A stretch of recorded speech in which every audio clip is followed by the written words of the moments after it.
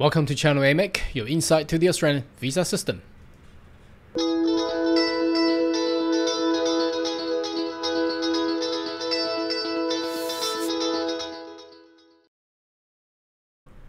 Good day everyone, my name is Carl Yang, your online YouTube visa consultant.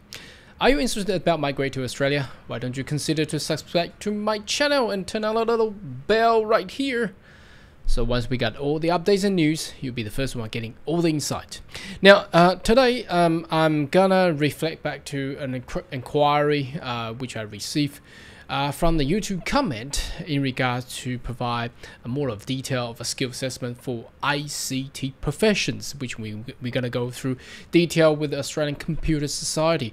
I thought I have done one before, and when I go back to my, the library of all the video I've done, actually haven't actually done a specific skill assessment for the ICT profession. So today I'm going to take you into those details. So let's jump into it as we there is some complexity of um, how they assess Australian qualification versus the uh, offshore overseas uh, qualification and plus I'm going to give you all the accredited courses that's been listed in the ACS. So let's jump into it.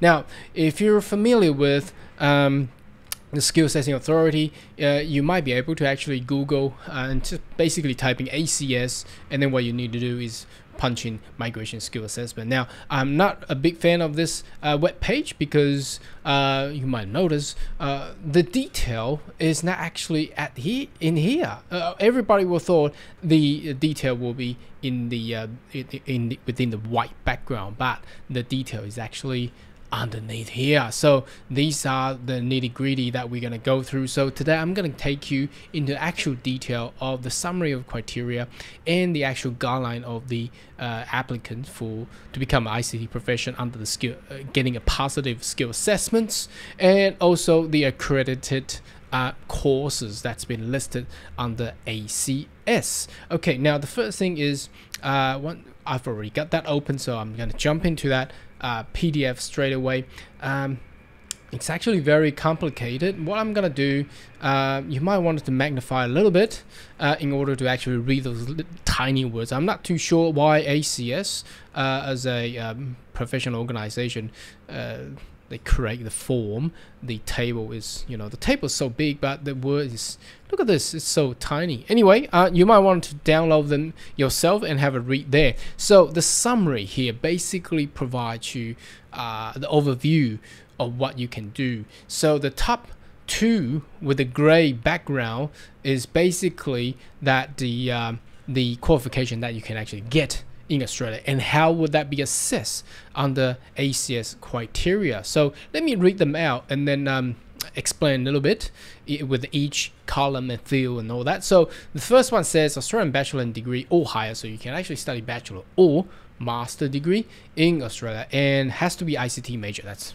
pretty simple. You can you cannot study uh, hospitality and get assessed under ACS anyhow. So I think this this field is quite redundant. You don't need that anyway. Hey, obviously, come to ACS, you you will know that your profession is under ICT. So the required qualification closely related to ANZSCO. That means they should have uh, put that into as a, a, word reference of things closely related to nominated occupation. of course. I, I, don't know why they do that because see these two fields they they are basically redundant um, if they study uh, the, you know if, if they done the right database courses you know uh, redundancy you need to remove them but anyhow uh, possibly the table isn't created by an IT profession. So anyhow uh, so if you're a network or um, cybersecurity specialist. Obviously you don't want to assess you yourself under a database man managerial analysis. That's pretty uh, obvious. Now required relevant work experience there's no requirement work relevance. Uh, if you are only applying for what they call provisional skill assessment that's under for uh, 485 visa so they should have turned this all around. So if you're applying for 485 visa at the at the front here they should name it 4A5. You don't need work experiences. But if you do want to get a full skill assessment, that's post Australian uh, Studies Skill Assessment, uh, you need to get one year of ICT work experience in the closely related uh, the the occupation that you're in, or perhaps you wanted to jump into a professional year program, which is equivalent to a year of work experience as well. So uh, again, the the the table is really uh, designed uh, not really readable, but uh, anyway, that's the reason why I'm here to pro provide this video to, to do the um, explanations. Now, what we see here down here, it, all the white one and the orange one uh, are the occupation, uh, the qualification that you actually obtain and gain overseas, so not in Australia. So if we, if you have studied something in USA under ICT, um, and it's bachelor or higher, uh, then you have a disadvantage because if you wanted to get uh, skill assessed, you are required to have additional one year. So you need two years of ICT work experience in order to actually pass that full skill assessment. So obviously, ACS or the government of Australia is promoting people to actually study ICT in Australia if you want to migrate to Australia. So that's that that's the that's a problem. Okay, now there's also look at here.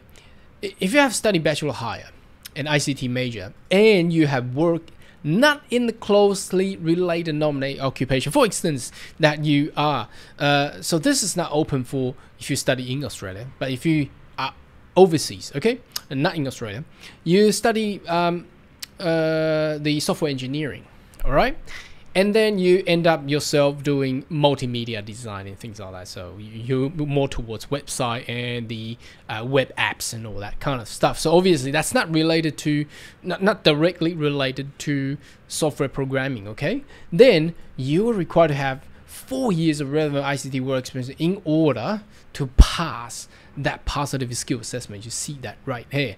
Okay now there is ict major and ict minor now the problem here is obviously if you have studied something but you have not really uh, one is the word is not matching. The other one is the uh, the qualification is not matching towards what you actually did or do okay? So it will it will it will traverse and making the word experiences requirement much longer. So that will require five years of relevant work experience. And if you have not studied matching the exact uh, major and work not in that exact major, uh, then you're required to demonstrate have six years. I mean, I haven't really for for these ones.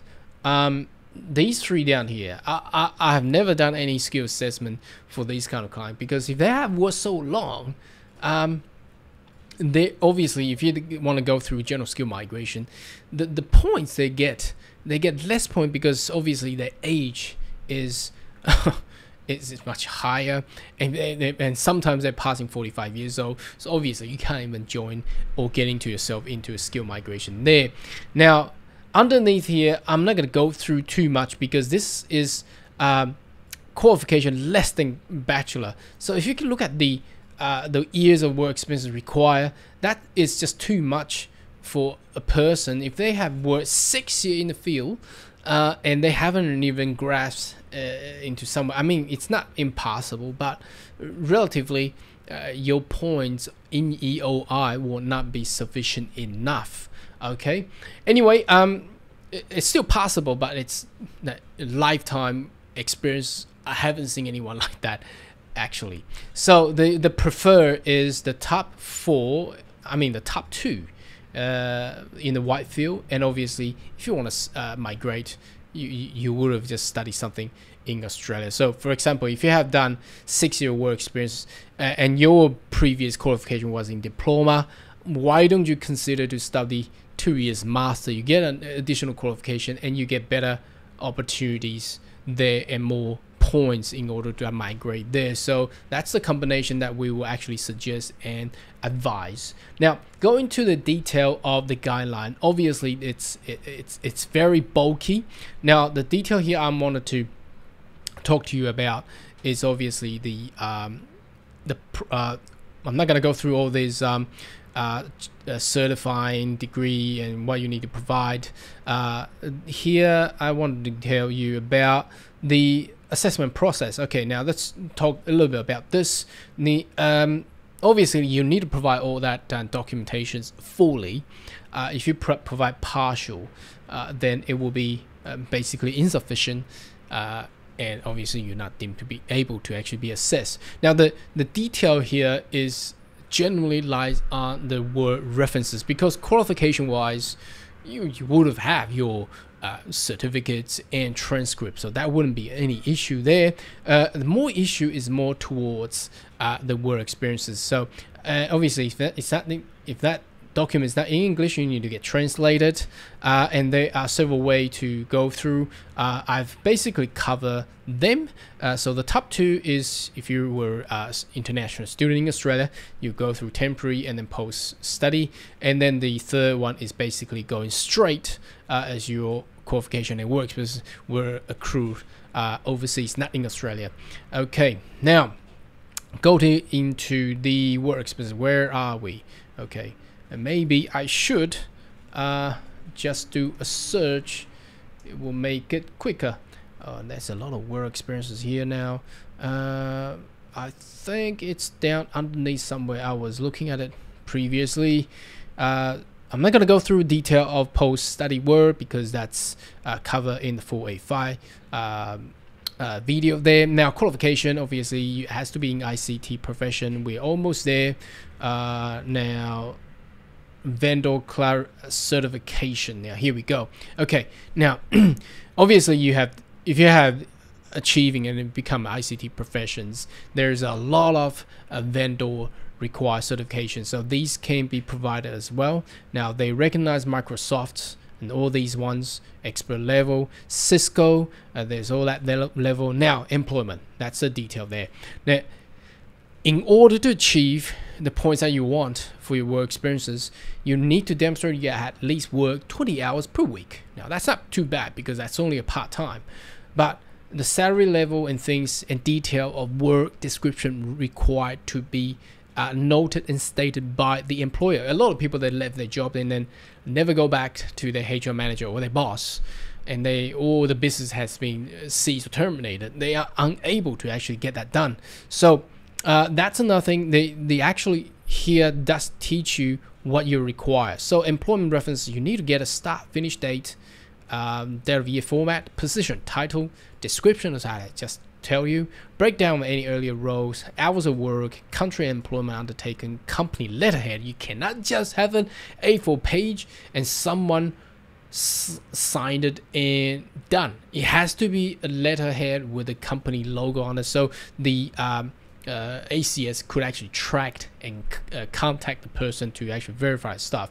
Now, if you were uh, the business were uh, terminated, you cannot find your boss or HR manager can verify you anymore. There's a way to do this. Okay, now 7.4 statutory declaration affidavits. You can actually declare this. Okay, and you has it has to be witnessed uh, by a justice of the peace in order to actually get that done. But obviously, you need to confirm with some third party evidence, for example, uh, tax payments, income or salaries, uh, in order to, you cannot just write it and, and, and declare and, and, and, sign it, swear. Uh, you need to have a third party supporting evidence in order to do, do that, okay? So that's another way to do it, okay? Uh, or perhaps getting a third person, who, possibly a colleague of yours previously, to provide this affidavit or statutory declaration to confirm that you were uh, working in such profession. So again, uh, it can be from junior colleagues, stating referees, um, and all that. Okay. Now, self-employed, same thing. Uh, you need to demonstrate all that. Now, you need to have a, a portfolio and perhaps a, a uh, supporting evidence of income that you, you actually made from a self-employed. Now, finally, a lot of people want want to ask this. Now, the accredited course, all you need to do is you go to um, Google and you punch in ACS space accredited course and you'll be able to find yourself with all these lists of um, university in Australia, and their accredited course uh, assessed under ACS. Now, bear in mind that does not cover every single course there, okay? Because courses does vary every year and every semester. So it doesn't mean that study something not listed here won't count. Uh, it will still count, but you just wanted to make sure. Uh, every time you want to enroll yourself, for example, go to Monash, I want to study ICT, make sure you study all these ones so you don't have to verify further assessments required. It's much easier to go in that way. A faculty of science engineer, so you want to study these in, in QUT or Bond or RMIT, so it's all here. That's the, the beauty of this. There are also two overseas university recognized and accredited courses in ACS as well. So anyhow, that's for the video today. Should you have more Korean question, more than welcome to leave a comment right down below and I see you next video. Goodbye.